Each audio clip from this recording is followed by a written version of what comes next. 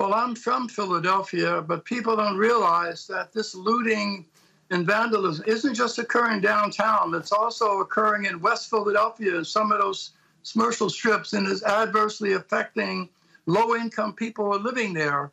Some of them, uh, the CVS uh, pharmacy has been destroyed. The, the center that, that conducts dialysis gone. People don't realize the self destruction that is going on in that city but it's horrible. And I think it, a lot of the responsibility is with that district attorney in the mayor's office.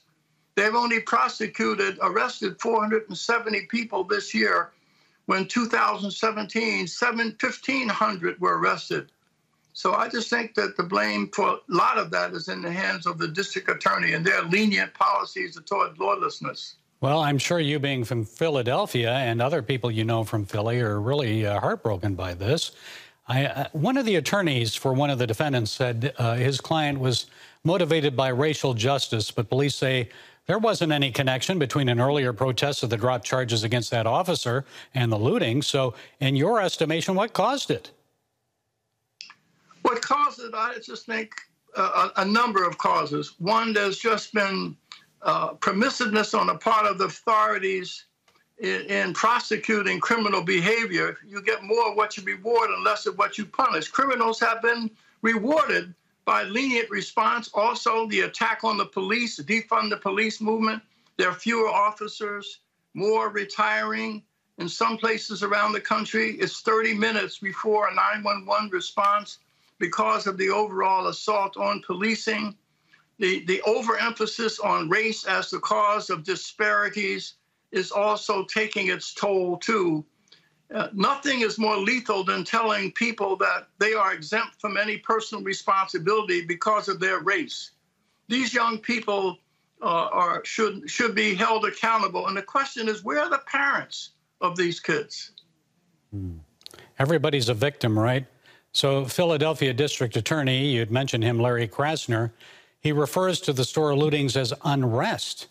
He says he'll hand out justice appropriately to those 72 people that he arrested, but most are between the ages of 18 and 25. They have no criminal record. So does this mean that he'll let them go and they won't have any consequences for their criminal behavior? That's been his orientation from the very beginning. He believes that if somebody is black, they ought to be exempt from any personal responsibility.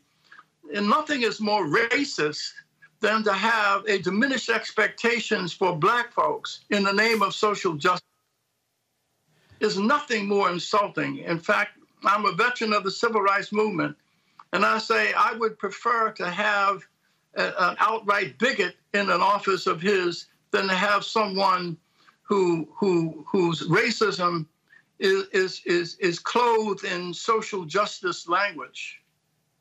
Wow. Uh, so tell us what the Woodson Center then is doing in Philadelphia, other cities to help transform lives. There is a positive here. Yeah, we have been very active in in in in solving these kind of problems in Washington D.C. and other cities. We have gone into these troubled communities and identified what we call healing agents or Josephs, if you will.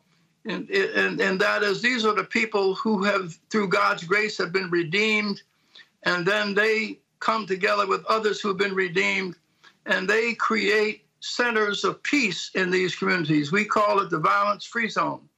We've gone into an area in Washington where there were 53 gang murders in a five square block area.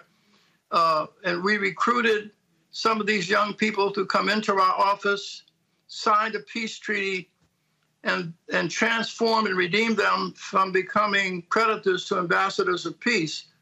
The problems confronting these communities will not be solved by pointing the finger at racism. It's only going to be solved by going into these communities and finding out who is raising children that are not dropping out of school or in jail and drugs to find out what is going on in the 30% of the households and then try to mobilize what's going on in the 30% of those households to apply to the 70% that is dysfunctional. Okay, making a difference in America's inner cities. Robert Woodson, founder and president of the Woodson Center. Thank you and God bless you. Good talking with you. Thank you so much.